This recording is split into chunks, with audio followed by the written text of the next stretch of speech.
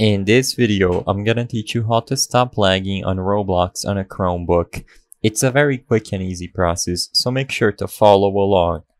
As you can see, I'm recording this video on my usual Windows computer, however, this process is exactly the same on a Chromebook. So, First, make sure you, you join a game before changing any settings on Roblox on your Chromebook.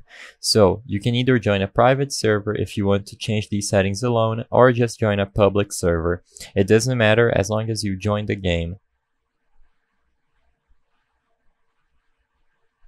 Once you are logged into Roblox on any game you like, all you have to do is bring up the usual menu by pressing escape.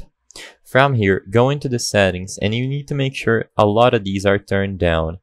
The easiest way to do this is just to set the graphics mode to manual and then lower the graphics as much as possible. You can also set it to automatic, which is going to detect your system settings and change these accordingly. But if you want to be extra sure that the settings are going to be appropriate to your Chromebook, just set it to manual and make sure you are ticked all the way down, so only on one square on quality. You can also turn on the performance stats at the top if you want to see how much memory Roblox is taking from your Chromebook.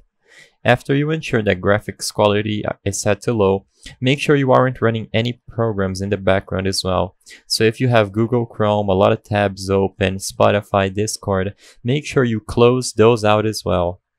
Once you make sure you are only running Roblox in the background and that the graphics quality is appropriate to your Chromebook, you should be able to play without too much lag. I hope I was able to help you on how to stop lag on Roblox on a Chromebook. If this video helped you, please be sure to leave a like and subscribe for more quick and easy tips.